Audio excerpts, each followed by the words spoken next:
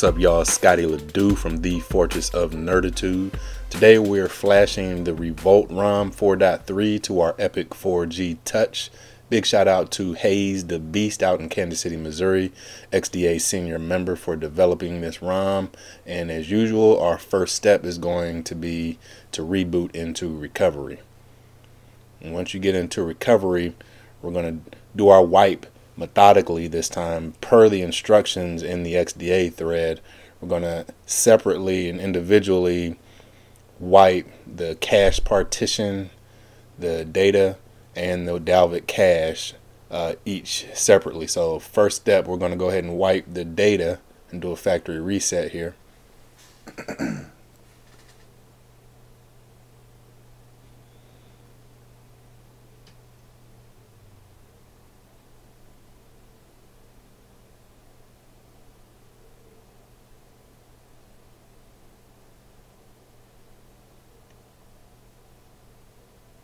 Okay, and then I'm going to go down to wipe cache partition. Knock that out right quick.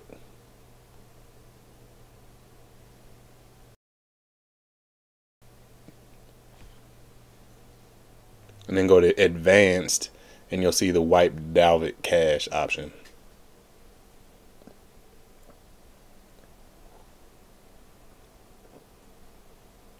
Okay, once that's done, you can go back to the main menu go to install zip. And wherever you've saved your ROM file and your GApps file I always save mine on my internal uh, storage in the downloads folder. So I'm going to go there and look for the Revolt JBD710 file and flash that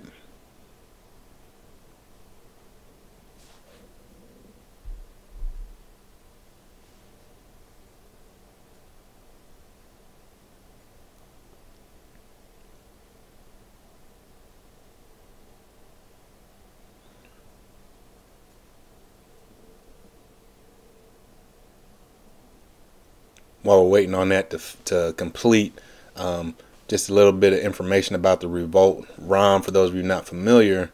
Um, I've done videos on it in the past. This one is an updated version uh, with 4.3 Android, and it's based on uh, uh, CyanogenMod 10.2, but it's got a combination similar to Dirty Unicorns. It's got a, a combination of Paranoid Android, AOKP, uh, CM, and a bunch of different uh, you know developments. And uh, the end result is that you've got a lot of customization and, and custom features that you can play around with as far as your interface is concerned.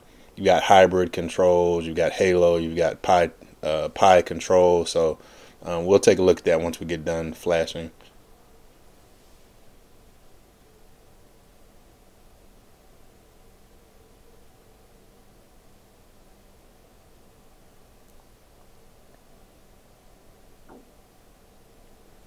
all right now that that's complete. Want to actually go back and do another wipe of the cache partition. So take a step back to the main menu. Go down to wipe cache partition.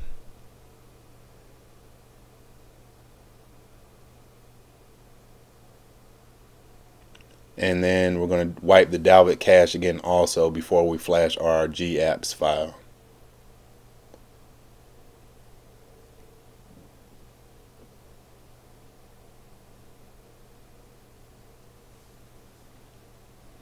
all right now we can go back to the install zip and downloads folder. Uh, we're going to be looking for a file dated I believe August 13th 2013 which is a 4.3 Jelly Bean GApps file.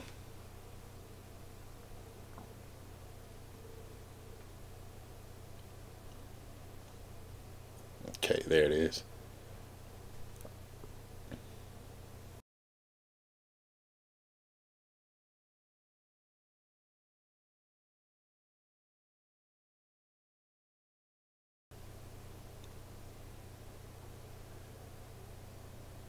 All right, and now we just need to go back and reboot the system and we should be in business.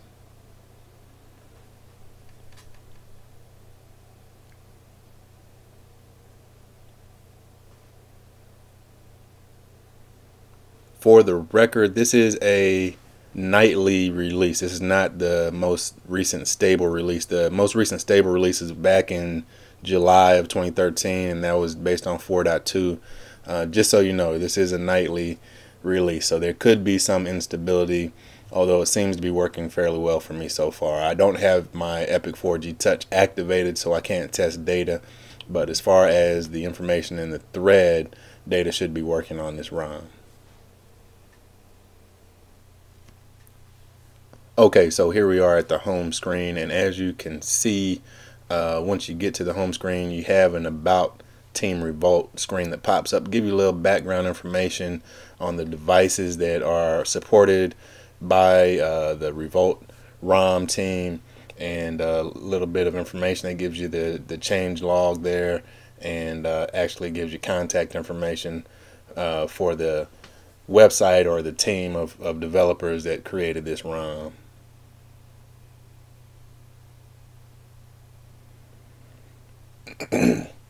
so if we get out of that, we'll see that you've got the typical Jelly Bean stuff here. Um, got apps and widgets both in the app drawer together. Uh, I noticed that Focal is in there, the Focal camera app, so that's cool. We've got a, a font uh, picker in the app drawer. That's a little different. Um, Goo Manager is automatically installed for you there. Looks like my home button isn't working. Um, so I don't know if that's a defect or if that's by design. I'm not sure. So I have to use the back button to get back to my home screen here, it looks like. So anyway, let's look at the customizations uh, options here and first we'll look at the general user interface tab. You got transparency settings. You can create a custom uh, excuse me, a, a, a custom boot animation.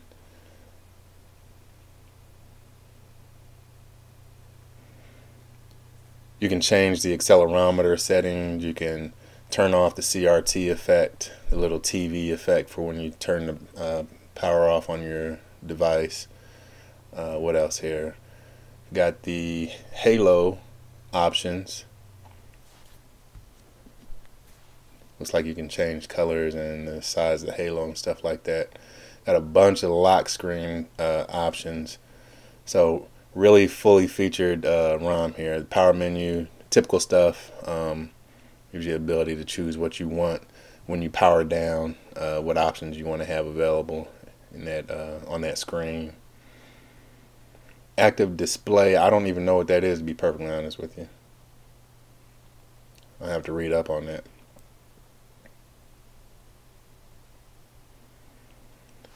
So navigation bar, obviously you've got capacitive buttons already, but if you want to have an additional navigation bar down on the bottom of your screen, um, you can do that. I don't personally like to do that. It takes up more screen real estate and the Epic 4G is already not that big of a phone.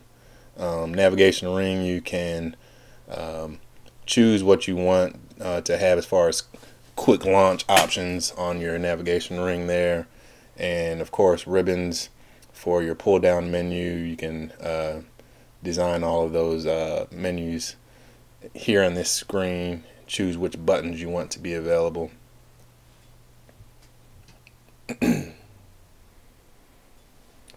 Gesture anywhere is another feature that I am not sure what that is. I'll have to uh, look into that I have to read the uh, thread, which I'll leave a link to in the description of the video. I apologize, I don't know what that is.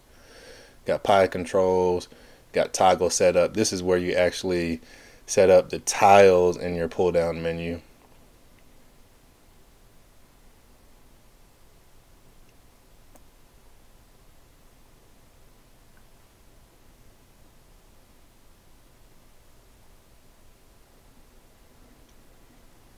and the last three are uh, status bar customizations the battery logo uh, color and size and the clock and the date. Um, so pretty uh, standard stuff as far as that's concerned.